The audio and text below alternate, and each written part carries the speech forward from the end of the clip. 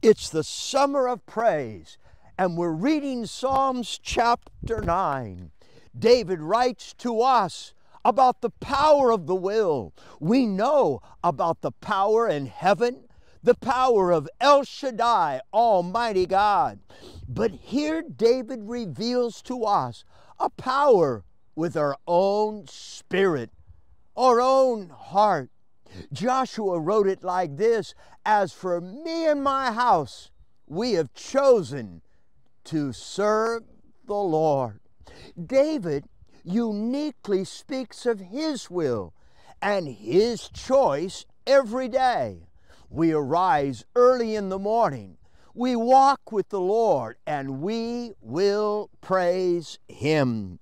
David wrote these words in Psalms chapter 9 I will praise you, Lord, with all of my heart. I will speak and tell others of all the marvelous things you have done. I will be filled with joy because of you. I will sing praises to your name, O Most High.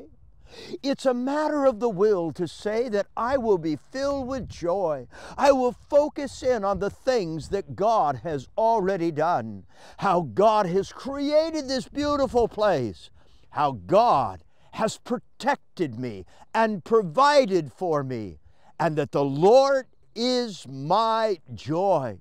It's a matter of the will. It's a matter of choice.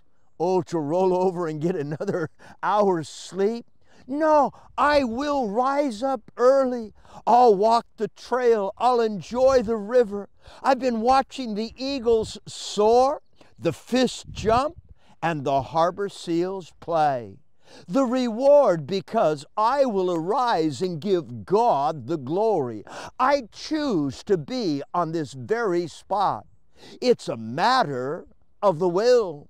It's not about whether I'm in a canyon or a valley, whether or not I, I'm going through difficult things or challenging things, somebody bruised me or hurt my heart, about all the disappointments that are inevitable in, li- inevitable in life. No, it's a matter of my will. I will be filled with joy.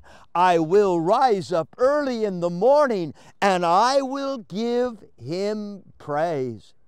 And then David gives to us the reasons why we will praise the Lord. David writes, I will praise the Lord because the Lord reigns forever. I will praise the Lord because the Lord is my shelter. The Lord is my refuge.